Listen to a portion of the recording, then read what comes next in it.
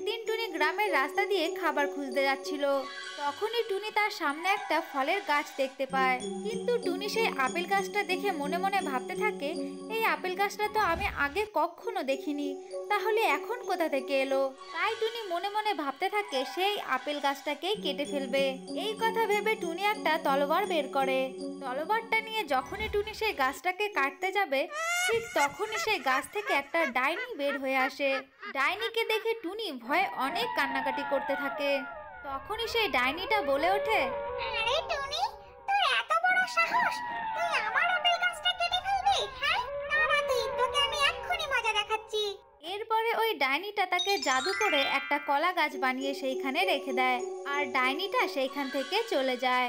এইদিকে টুনির মেয়ে গুড্ডি তার মায়ের জন্য বাড়িতে বসে বসে অপেক্ষা করছিল কিন্তু বেশ কিছুক্ষণ কেটে গেলেও তার মা বাড়ি ফেরে না।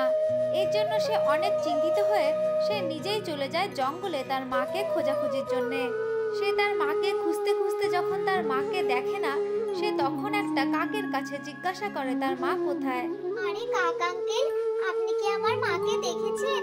আমার মা কোন দিকে গেছে? হ্যাঁ হ্যাঁ দেখেছি তো। তোমার মা ওই গ্রামের রাস্তার দিকে গেছে। এরপরে গুটি ওই গ্রামের রাস্তা দিকেই চলে যায়। আর তখনই সে একটা কলা গাছ দেখতে পায়। তখন ওই কলা গাছটা গুড্ডিকে দেখে অনেক কান্নাকাটি করতে থাকে। গুড্ডি গুড্ডি মারে, তুই এসেছিস? দেখ, আমাকে ডাইনি কি করেছে? আমাকে একটা কলা গাছ বানিয়ে রেখে দিয়েছে। তুই আমাকে বাঁচা রে গুড্ডি, আমাকে বাঁচা। আরে, মা, তুমি? তুমি এই কলা গাছ থেকে কথা বলছো? আমি তোমাকে কত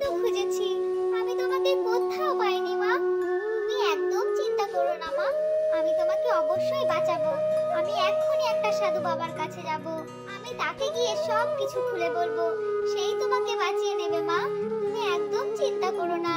এরপরে গুড্ডি চলে যায় একটা সাধু বাবার কাছে। আর তাকে গিয়ে সব কিছু খুলে বলে। এই শুনে সাধু বাবা গুড্ডির সঙ্গে চলে আসে সেই কলা গাছটার কাছে। আর সাধু বাবা তার জাদু শক্তি দিয়ে সেই কলা গাছ থেকে পুনরায় টুনিকে উদ্ধার করে। আপনাকে অনেক ধন্যবাদ সাধু বাবা। আমার মাকে ফিরিয়ে দেওয়ার জন্য। আরে না না টুনি ছানা তোমাকে আমার কাছে ধন্যবাদ বলতে হবে না। আবার যদি কখনো বিপদে পড়ো আমাকে ডেকো কিন্তু ঠিক আছে? এই কথা বলে সাধু বাবা সেইখান থেকে চলে যায়। আর এরপর থেকে টুনি ও তার মেয়ে গুড্ডি সুখে শান্তিতে তাদের দিন কাটাতে থাকে। একদিন টুনি গ্রামের রাস্তা দিয়ে খাবার খুঁজতে যাচ্ছিল। তখনই টুনি তার সামনে একটা ফলের গাছ দেখতে পায়। কিন্তু টুনি সেই আপেল গাছটা দেখে মনে মনে ভাবতে থাকে, এই আপেল গাছটা তো আমি আগে কখনো দেখিনি, তাহলে এখন কোথা থেকে এলো? তাই টুনি মনে মনে ভাবতে থাকে, সেই আপেল গাছটাকেই কেটে ফেলবে।